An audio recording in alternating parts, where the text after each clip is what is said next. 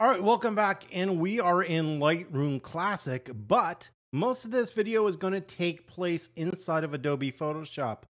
What we're going to take a look at today is a more intelligent way to apply presets to your images and make them what we call non-destructive. This is also going to allow you to stack presets. So this was a question I had a couple weeks ago. Somebody asked if there was a way to do it. And I said, well, kind of, not really. So I'm going to run you through a process that's going to allow you to stack presets in a non-destructive manner.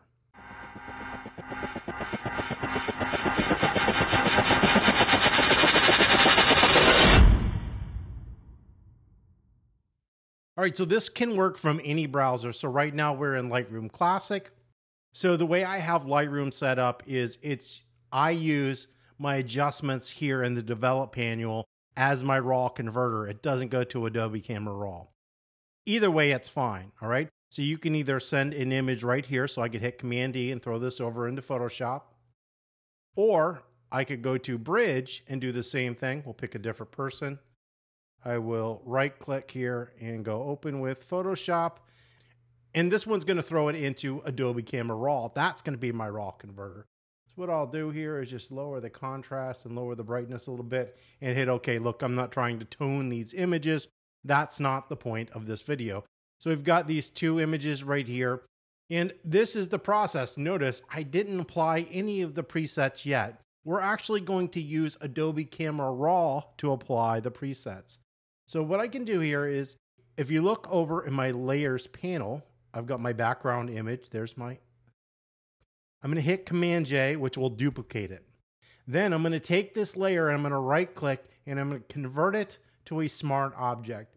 What this does is make the filter that I'm going to use a smart filter, and that will allow it to be non destructive. I can go back and change it, or I can add more to it. So now, how do we add those presets? Well, we're on this new layer, and then we're going to go up to Filter, Camera Raw Filter.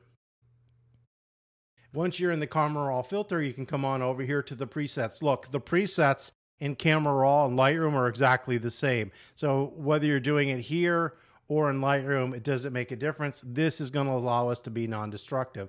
So I can come down here and I can pick something. So if I want portraits light skin, I can scroll through there, see which one I like.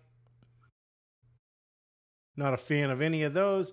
So let's try portraits edgy, and then we can go through there and check out these different portraits. Let's say I like this one. I can go ahead and select that, and then I can hit OK. And you'll notice it will apply that preset, but it does it as a smart preset. So, hey, if I want to go back and change this, I can double click on it. We can go back in time. I can click on the presets, do something completely different, select that, Okay. And now that preset is being applied. If I want to apply another preset on top of it, I can go up here to filter, camera raw filter, my presets, scroll down, pick something new. Okay. And now you can see we've got both presets. And if I want to see what it looks like with one of them off, I can turn one of them off and it's going to show me what it looked like with just one on. If I want to turn this one on and this one off, I can do that as well. So it can allow you to stack and make non-destructive presets. What's cool about this is we can save this image, open it up today, tomorrow, the next day. These presets are going to still be here and we can change them. We could also make it so there's different groups. So let's say I like this preset, but I also like another one. All right. What I'm going to do is come down here to my background layer and I'm going to hit Command J and I'm going to create a new background copy. I'm going to do the same thing. I'm going to make this a smart object. And then I'm going to come up here to Camera Raw Filter. And then I can click on my filters.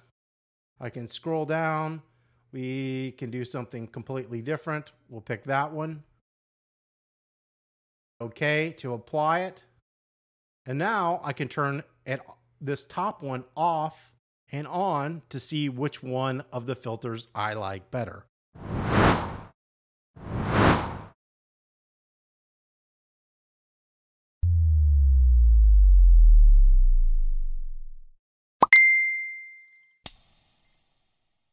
So this is a much better way to apply presets. And the reason is if you do it in Adobe Camera Raw or you do it in Lightroom and then go to Photoshop, you can never adjust them. You're like stuck with it forever. There's no going backwards unless you start over with your image. So this allows you to create non-destructive presets inside of Photoshop that you can change at any time.